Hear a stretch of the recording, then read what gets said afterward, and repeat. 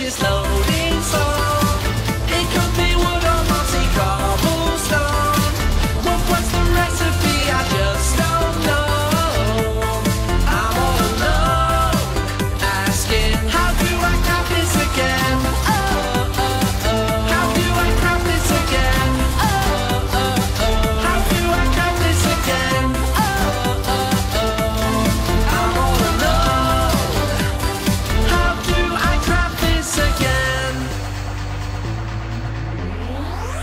Trying to guess how to make an anvil. Saw one in town and I've got a bag full of different ores I collected down in the mine. Am I just wasting my time? Then to my uttermost surprise, I